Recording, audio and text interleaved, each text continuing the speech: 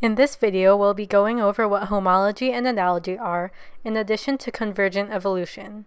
It's actually very simple, and once you've got the hang of it, it'll pretty much stick with you the whole year. So to start, we've got homologous and analogous structures.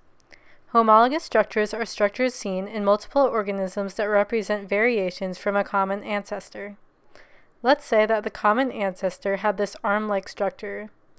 Over many years through natural selection and adaptations, many different animals are thought to have arisen with variations of this arm-like structure. In humans, we see this,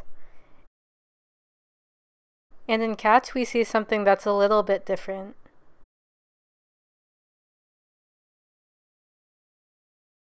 A lot of textbooks also include the whale fin and bat wing, all of which have originated from a common ancestor long ago.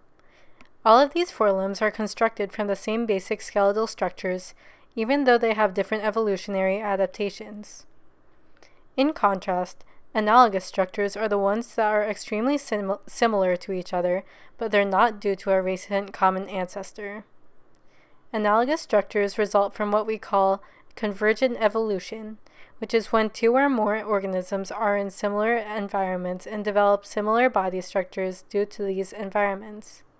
Here's a very common example of convergent evolution and analogous structures, the sugar glider in Australia and the flying squirrel from North America. Both of their body plans allow them to glide through the air, yet they do not have a recent common ancestor. Think about it. Sugar, sugar gliders had to adapt in Australia, which is totally isolated from North America.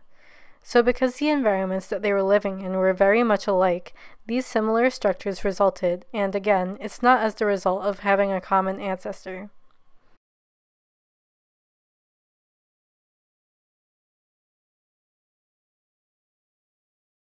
So that's all for homology and analogy.